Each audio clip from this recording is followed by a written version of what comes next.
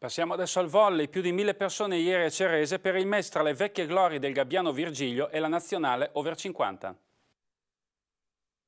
In questi casi più che mai il risultato è assolutamente secondario, ma nessuno degli atleti in campo si è risparmiato, regalando ad oltre mille tifosi un tuffo nel passato ricco di emozioni. Successo senza alcun dubbio per l'amichevole tra Gabbiano 40 Plus e la nazionale over 50 di volley, per i tifosi accorsi ieri nel palazzetto di Cerese, la soddisfazione di riabbracciare i campioni di quello che fu il miracolo del Gabbiano Virgilio. Campioni con qualche anno in più sulle spalle, ma legatissimi ancora a Cerese. Il bello di avere qualche anno in più è che si riescono a fare queste cose che veramente danno un senso a tutto quello che si è fatto e a tutto quello che una città come Cerese ha dato allo pallavolo e a noi, che questi ricordi ci risvegliano troppe emozioni sul serio. Un piacevole ritorno al passato, ricordando anche con un pizzico di nostalgia un modo di fare sport che forse non c'è più. Penso che quello che in quegli anni lì si sia vissuto qui dentro sia un qualcosa di irripetibile in generale, perché non esistono più queste realtà a, chiamiamole anche a, a conduzione familiare. I ragazzi del Gabbiano 40 Plus hanno battuto 2-7-1 la nazionale over 50 forte di Bertoli e Cantagalli, tra l'entusiasmo di un pubblico che ha ancora fame di grande volley.